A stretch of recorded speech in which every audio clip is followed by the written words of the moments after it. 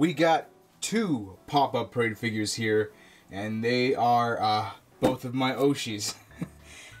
Still haven't unwrapped that one, but first, let's get started on you.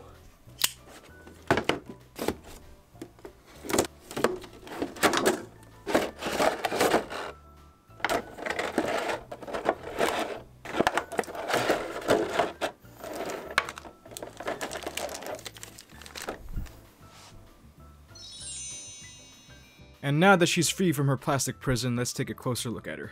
She is more or less what I expect from a pop-up parade figure of this price. The detail is there, while not too extravagant. The clear lack of a trident bums me out though. I feel like that was a wasted opportunity, honestly. The pose on the figure itself is still pretty cute though. It screams look at me, which is pretty on character for her. The eyes on this figure do look pretty nice. Regardless of what you've seen online, she still doesn't have bottom teeth. They gave her such a huge stand though, look at that. Until I got this figure, I had no idea she had dorsal fins poking out of her hoodie. Look at this cute tail. It even has the stitches. No clue why Kronii doesn't want to touch it.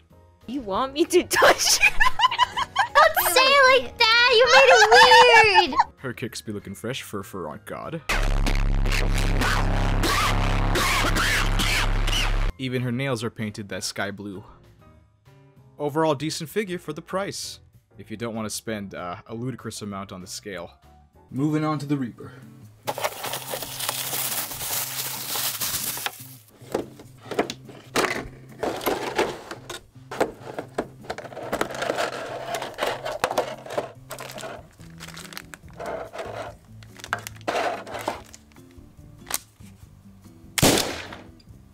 Immediate thing I noticed is the smaller stand that Callie has. You'd think she'd have a bigger stand to support that uh, top-heavy nature of hers. She is about what I expected from a pop-up parade figure at this price. However, she holds a lot more detail than Gura. Mainly because her design has a more flowy dress look. Elegant, if you want to call it. But when it comes to smaller details, you can tell that this is a 30 to $40 figure. Besides that, the rest of the figure looks pretty damn good. Her dress and shoes are sculpted real nicely with a golden accent. On the back, her veil is translucent, which makes it look very nice. And the rest of her dress reminds you that she is a Reaper. Just like Gura, her nails are painted, but this time in a black nail polish. And I gotta say, those eyes look beautiful. No scale figure of her has been announced yet, but I guarantee that if there is one, ooh, my wallet's gonna be hurting. Good morning, everyone. Would you be so kind as to give me all your money? Certainly, sir.